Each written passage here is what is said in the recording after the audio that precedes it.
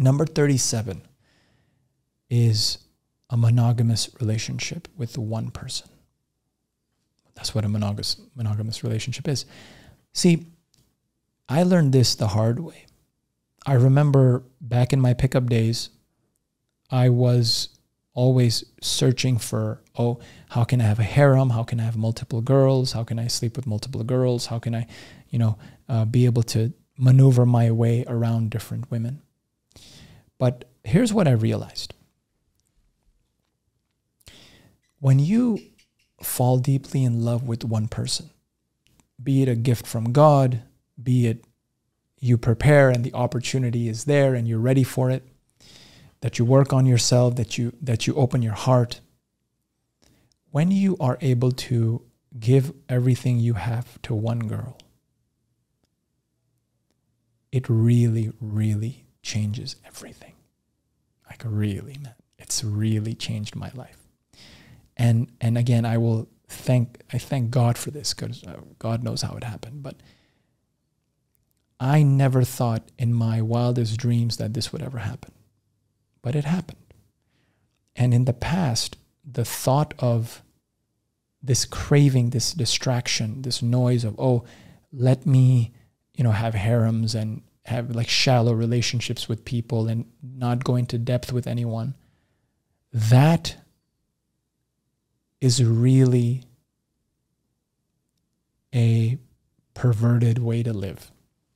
I believe this now. And, and, and it's not just my experience, right?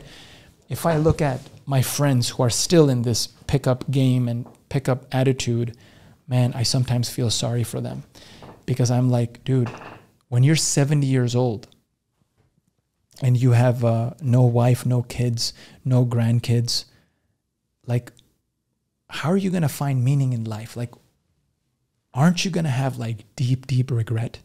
I know I, there's this uh, recent documentary called Birth Gap, and uh, Jordan Peterson and the guy who made it were talking recently on a podcast, and they were talking about how there's this big uh, uh, gap between, first of all, there's many, many countries in which people are just not having kids the intimate relationship isn't there.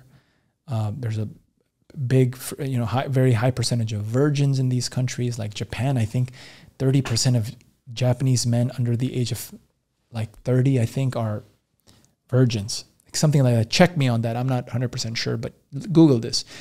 Um, yeah, a lot of men are not getting in intimate relationships, and if you know, be it from the, the feminist culture, you know, the, the toxic masculinity, whatever the hell it is.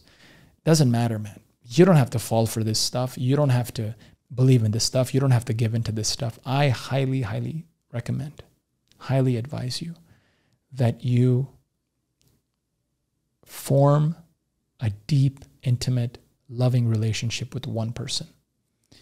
And uh, when it happens, my, my God, thank God for it, man. Really, really um, get prepared for it. Work on yourself, work on your health. Health, health, health. Work on it hardcore.